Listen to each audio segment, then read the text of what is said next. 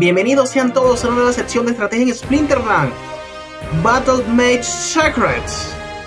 Participando en el desafío de la semana Enalteciendo una de las condiciones más antiguas del juego El Earthquake, el terremoto. Por eso acá de fondo todos los monstruos Que poseen la habilidad Fly en el juego. Porque es que Fly es lo único Óigase bien, lo único que te hace inmune al terremoto. El terremoto atenta contra las estadísticas de armadura o de salud. En el caso de que el monstruo no tenga armadura, va directo a la salud. Si tiene armadura, va directo a la armadura. En el orden de un ataque, ya sea proveniente de un arquero, un cuerpo a cuerpo, en el orden de dos puntos. Es decir, es el mismo efecto.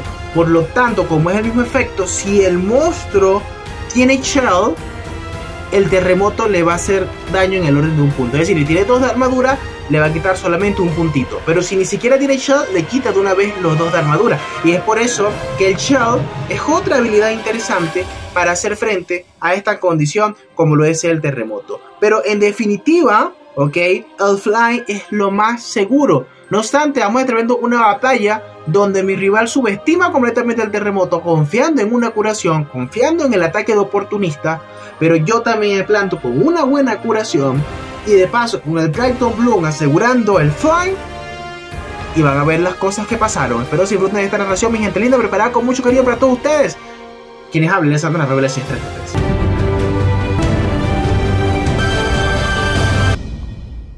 Batalla súper interesante, mi gente linda. Una batalla de bajo maná donde yo me cuadro con Brighton Bloom y mi rival utiliza a este invocador Sander Foswood, un invocador de bajo maná que le permite emplear a mi rival a un total de 3 atacantes. Es que noten ustedes, mi gente linda, el maná que disponemos en esta batalla es de 14 puntos. Mi rival emplea aquí 3, 3, 6, 12. Es decir, este invocador solamente consume dos puntitos de maná.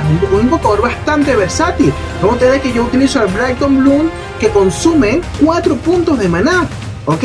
Y, más 6, 10 y 4, 14. Es decir, yo eh, a diferencia de mi rival que emplea 3 monstruos de ataque y que van a trabajar todos, vale destacar porque está un melee imagen activo. Es decir, los cuerpos a cuerpos atacan desde cualquier posición. Yo apenas utilizo 2, apostándole una curación. Pero ¿cuál es mi ventaja acá? Mi ventaja es que todos mis monstruos tienen fly. Es decir, no van a sufrir los efectos perjudiciales del terremoto. A cambio de eso, mi rival, ok, que se planta muy bien, con buenos monstruos en buen nivel, pero mi rival subestima, subestima, mi gente linda, el terremoto. Incluso este monstruo ofrece tiene más nivel que el mío, pero sin embargo subestima el terremoto. Y esto, mi gente linda, pasa factura, ¿ok? Así que es que mi gente en el terremoto no puede jugar con él. Lo, lo adecuado, lo más adecuado es utilizar monstruo con fly o en tal caso que tu corazón sea muy potente, pero que también tus monstruos, ¿ok?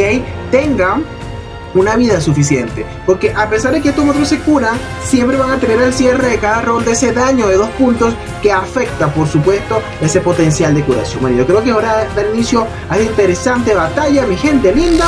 Empieza atacando acá mi Kutmin, pasa a la primera posición, flash goal del rival. Este pornista elimina el Furoshiki, cada sacrificio muy buena, nos curamos acá.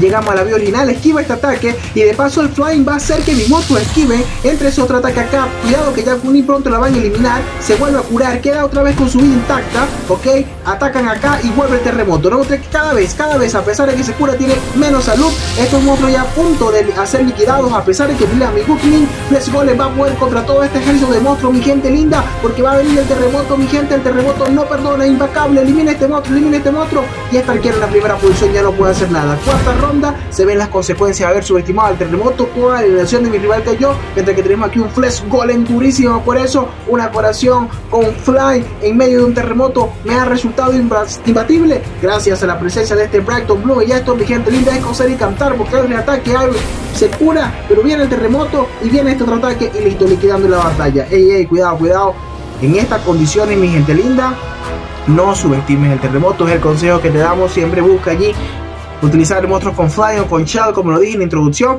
Y por supuesto, por supuesto, Brighton Bloom es invocador dragón. Excelente, excelente para hacer frente a la condición Earthquake o terremoto. De igual manera, eh, la, habilidad Flying es de las más abundantes en el juego y te puedo asegurar que puedes armar un buen equipo para enfrentar el terremoto con cualquier Splinter sin necesidad de tener presente al Brighton Bloom. Así que no te hagas tampoco tan dependiente de ese invocador. Busca armar tu mazo con monstruos con Flying que hay bastante y te aseguro que va a ser también grandes batallas. Y también el Child puede ser un mecanismo para mitigar el terremoto. Espero te haya gustado estos análisis estratégicos, hayas aprendido mucho compartiendo con ustedes mi experiencia en torno a este fascinante juego y hacer hasta una próxima oportunidad. Quienes habló Alessandra Robles 333. Chao, chao mi gente, se les quiere mucho.